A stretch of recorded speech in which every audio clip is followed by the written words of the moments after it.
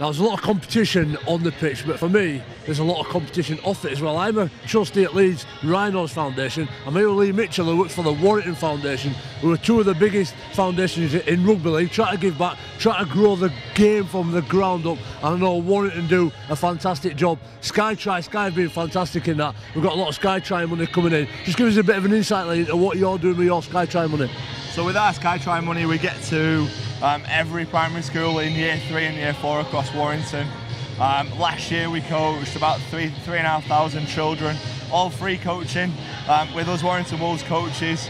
Um, we do that for six weeks in each primary school.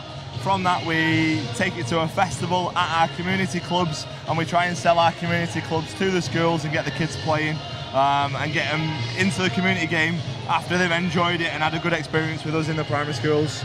Now, I know we're always wanting to share ideas. I'm in charge actually of the Rugby League development plan for Leeds, and one of the things I really want to do this year is get the schools back involved, really invest in the schools, and get the school trips down to Wembley for the big days out that kids back in 50s and 60s used to do, and still remember, still talk about today, those older fellas. Have you got any tips for me in the way to approach schools and really engage them young people? I think it's a really easy sell to them. Um, if you, they have a good experience with the coaching, um, a good example, we took a school who'd never played rugby um, to Magic Weekend last year.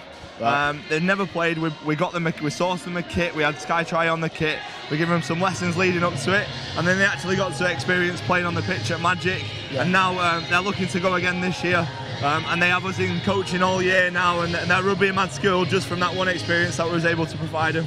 This guy right here, growing the game in Warrington. Uh, I, I, didn't want to go away without asking you about your try. Apparently, you outpaced Brent Webb uh, one day. Just, just give us a bit of an insight and tell everybody out there about your try. Yeah, it's probably highlight of the career. I, I, went through Kevin Sinfield as well. I broke through the tackle first. If Kev's watching, yeah, just have a look at that one. I'll tell him to watch uh, it. Tell that one.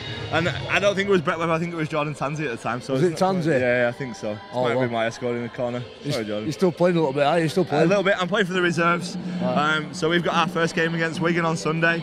Um, you know, for me as a player, an, an older player now, I, I, want to give back a little bit some of my experiences yeah, and play there. Um, for for Super League in general, I think every Super League club needs a reserve grade because the biggest thing for me when I was playing, and maybe why I'm still not playing Super League now, is when I wasn't playing first team, I had nowhere to play. Yep. And uh, dual reg worked a little bit, but it upsets the championship teams for me.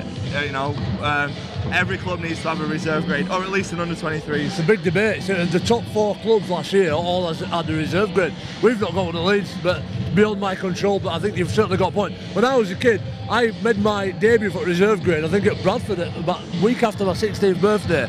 And I played against people like Paul Medley.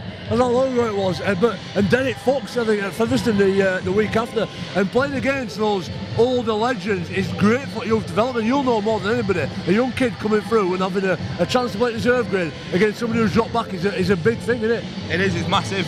Same for me with uh, the under 21s I was playing with um, at the time first team players who were dropping down um, when I was coming through and then it changed and it was under 18s under 19s and it's like these kids don't have enough, that opportunity anymore it's just not there for them. Whether it's power station, factory or stadium, covering installation or maintenance, SPEC, the specialist power contractor to industry.